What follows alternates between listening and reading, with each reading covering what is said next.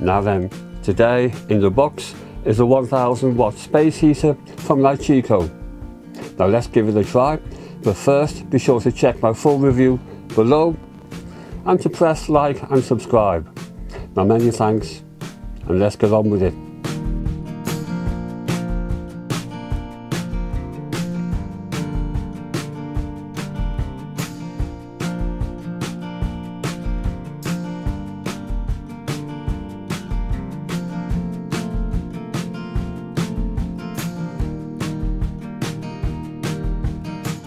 Okay, let's look inside the box. And here's the heater itself, which is all made from plastic, but seems to be well made. On the top, the operating controls, hardwired UK plug. On the reverse is the main power switch.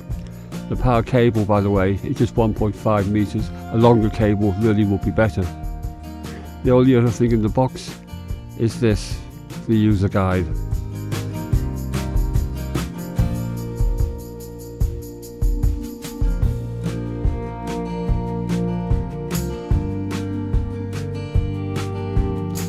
It comes with a removable dust filter, but the filter, as you can see, is very coarse, so I can't see it stopping much dust. But it is simple to uh, remove, clean and reinstall.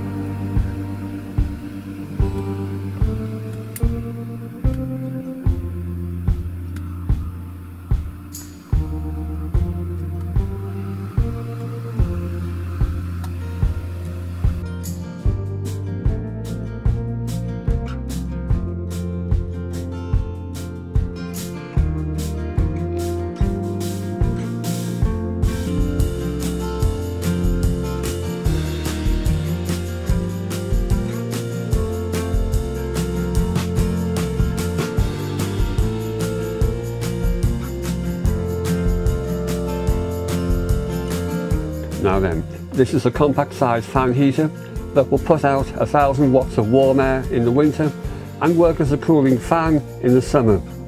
It's got two heat levels, a single fan speed and a three-stage timer.